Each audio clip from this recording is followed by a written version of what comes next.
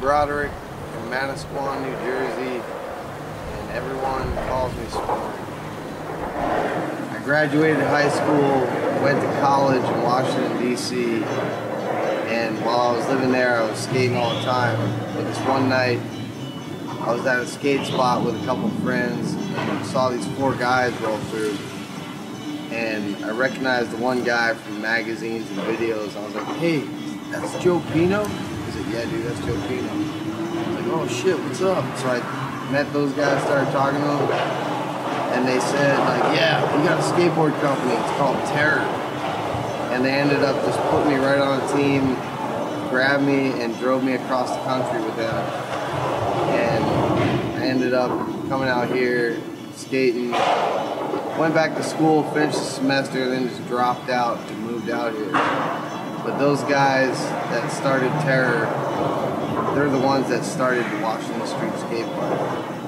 They did it back in 1999, but then uh, the city shut it down, put Jersey barriers around the stuff they had built so nobody could ride it.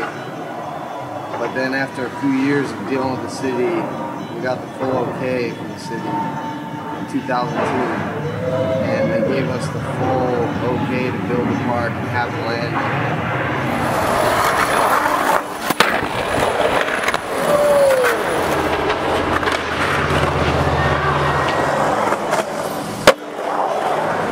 When the city gave us the okay to build the park, they also matched all of our funding. So it was like, we had 50 bucks, they would give us 50 bucks. Then we had 100. Like all the money that we came up on, all the fundings that we had, they matched.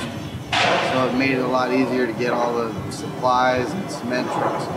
And also here in San Diego, you got so many skateboard com- companies where all of them were kicking in. Like we found out about the place and they all started throwing down money. So that we had the, the funding to build everything.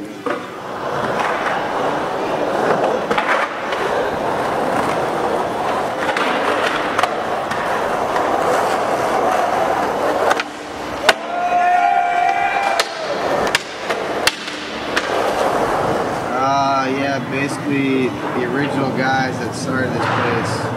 Glenn Wagner, Joe Pino, Sage Boyard, and Little John. That's the original terror team that sponsored me and brought me out here. They're the ones who started this place and made it happen. But pretty much all of them are now married and have children.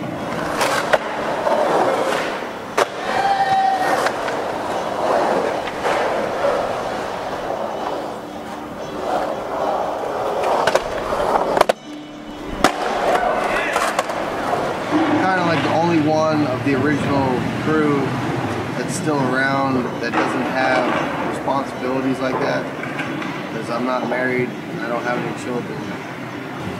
Basically, just try to take care of the janitorial services here, keeping the whole place clean. It's like a custodian or whatever.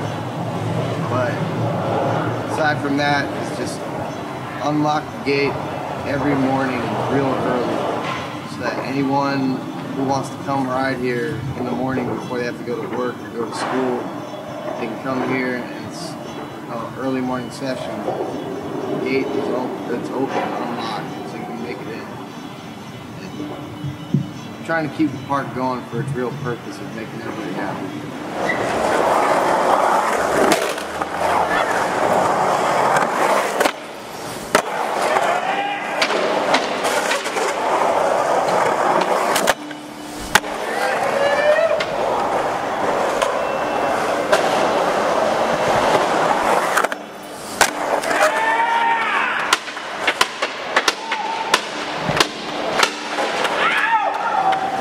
There's a handful of things that we built here in the beginning that we ended up tearing out and building new shit on top of it, like in that area.